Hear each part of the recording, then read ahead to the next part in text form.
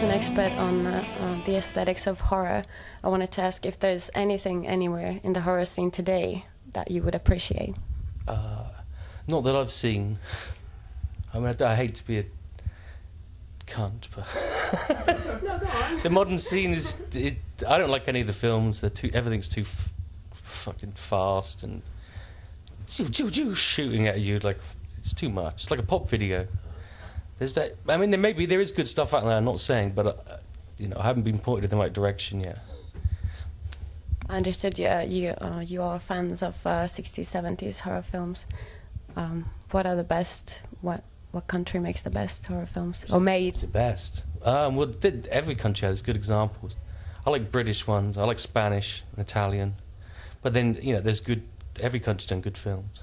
If you had to recommend certain films to someone, Films. Um, there's always the same ones: Dunwich Horror, Psychomania, um, Devil Rides Out, Satanic Rites of Dracula.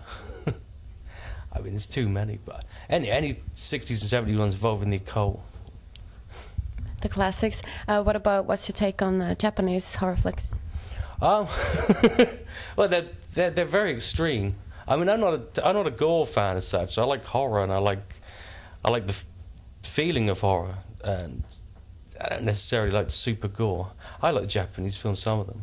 I especially like the, the 70s ones, the crazy girl bike gang ones, where they, you know, kick guys to death and stuff, businessmen to death with their fantasies. I think the plots are kind of harder to understand for Yeah, Westerner. it's impossible to understand. you just watch it like a roller coaster ride.